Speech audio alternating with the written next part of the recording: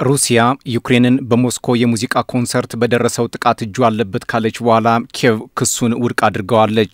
የዩክሬኑ ፕሬዝደንት ቮሎዲሚር ዜሌንስኪም ቅዳሜ ምሽት ባሰሙት ንግግር ሀገራቸው በዚህ ጥቃት እጁ አለበት መባሉ እንዳሳዘናቸውም ገልጸዋል። አንድ የሩሲያ ፓርላማ አባልም የዚህ ጥቃት ፍላጎት ያላቸው ምናልባት ዩክሬንና ደጋፊዎቿ ሊሆኑ ይችላሉ፣ ይህንን ሀሳብ ውድቅ ልናደርገው አንችልም ሲሉም ተደምጠዋል።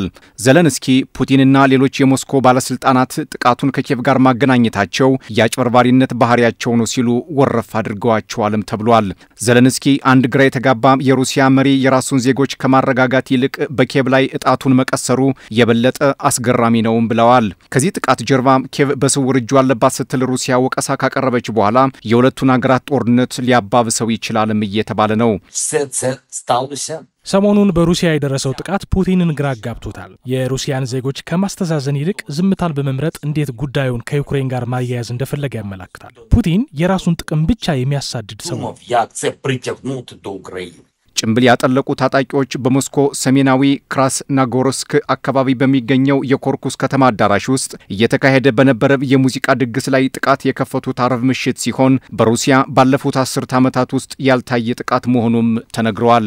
በሩሲያ ዋና ከተማ ሞስኮ በተፈጸመውና እስላማዊ መንግስት አይኤስ ኃላፊነቱን በወሰደበት ጥቃት የሟቾች ቁጥር ከ140 በላይ የደረሰ ሲሆን ሩሲያም ከጥቃቱ ጋር በተያያዘ አራት ታጣቂዎችን ጨምሮ በድምሩ 11 ሰዎችን ማሰሯ ታውቋል። ከሞስኮ በተደጋጋሚ የሚወጡ መረጃዎች እንደሚጠቁሙት አርብ ዕለት በደረሰው ጥቃት የዩክሬን ባለስልጣናት ስለ አደጋው ያውቁ እንደነበር የሚያሳዩ ናቸው ቢባልም ኪየቭ አሁንም ድረስ የሚቀርብባትን ክስ እያስተባበለች ትገኛለች። ሞስኮ እንደምትለው ኪየቭ ብዙ ሰው አልባ አውሮፕላኖችና ተጨማሪ ሚሳይሎችን ለመጠቀም አስባ እንደነበር ሲሆን ሞስኮ ክሱን ያቀረበችው አደጋው እንደደረሰ ወዲያው መሆኑም ታውቋል። የሞስኮ ባለስልጣናት ጥቃት አድራሾቹ ወዲያውኑ ጥቃቱን ካደረሱ በኋላም ወደ ዩክሬን ሸሽተዋልም ብለዋል።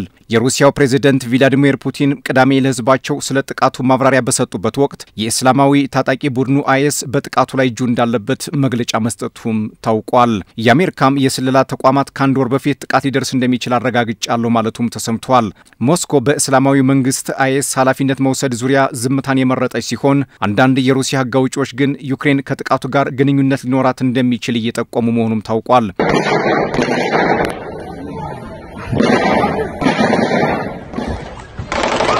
አይኤስ በካሜራ የተቀረጸ ጥቃቱን የሚያሳይ ምስል በመልቀቅ እግዚአብሔር ታላቅ ነው ሲልም ተደምጧል።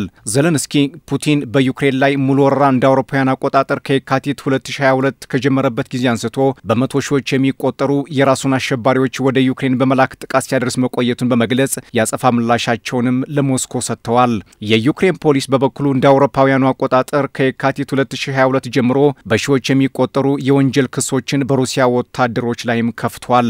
ዩክሬን ላይ ጭካኔ የተሞላበት ድርጊት የሚፈጽሙት የሩሲያ ወታደሮች የራሳቸውን ሕዝብ ግን ከጽንፈኛ አጥቂዎች መከላከል አልቻሉም፣ ከተማችን አቃጠሉ፣ ዜጎቻችን አሰቃዩ፣ ደፈሩ ሲሉ ዜሌንስኪ የሞስኮ ኃይሎችን በነገር ተንኮስ አድርገዋቸዋል። ዜሌንስኪ ሩሲያውያን ዩክሬንን ከመውቀስ ይልቅ የራሳቸውን የስለላ ተቋማት እንዲፈትሹ ያሳሰቡ ሲሆን የፑቲን ሩሲያ የፖለቲካ ተቃዋሚዎችና ነጻ ሚዲያ የሌለባት ሀገር በመሆኗ ማንም ሰው ባለስልጣኖቹን ተጠያቂ ሊያደርጋቸው የሚችል የለም ሲሉም ተደምጠዋል።